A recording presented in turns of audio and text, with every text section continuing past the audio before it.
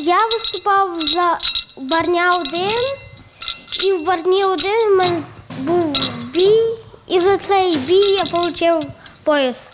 Хмельницька команда з козацького двобою за підсумками чемпіонату України виступила на чемпіонаті Європи, який проходив в Італії, розповідає заслужений тренер України Гарій Осідлевич. Його підопічні від 7 до 18 років, каже тренер, вибороли 29 медалей. Чемпіонат Європи проходив Сан Маріо, це Італія. Е, Ми виступали в різних в різних версіях. У нас було е, вісім чоловік. Це від Хмельницької області. Взагалі більше 300 чоловік було в складі збірної України.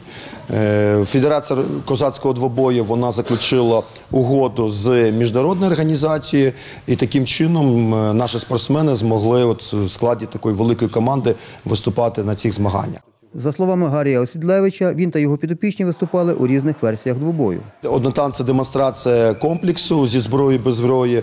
Е, Забава це поєдинок до першої технічної дії, і барня 1 це поєдинок е, без зупинки. Тобто можна наносити будь-яку техніку ударів, от, і бокові судді оцінюють. Призер чемпіонату Європи Роман Шуляк демонструє улюблений удар рукою з розвороту. В Барні 2 можна битися руками, ногами і робити кітки. І зайняла друге місце.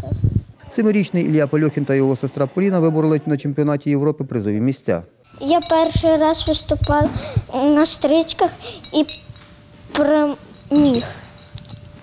Перше місце. Я виступаю два роки, сам сам право і на всіх змаганнях виступаю. Ми займаємось вже ще з садочка. Діти з задоволенням ходять, приходять, розказують. От сьогодні тренер нам про це розказував, як такі прийоми робити, як такі робити прийоми. А от е, а він буде з нами літом займатися, робити е, літній табір. От їм цікаво. Усі здобуті медалі, каже Гарій Осідлевич, можна з'єднати в одну. Чому так зробили? Що якщо спортсмен виступає в декількох версіях, він може з'єднати е, ці медалі і таким чином зробити велику велику медаль.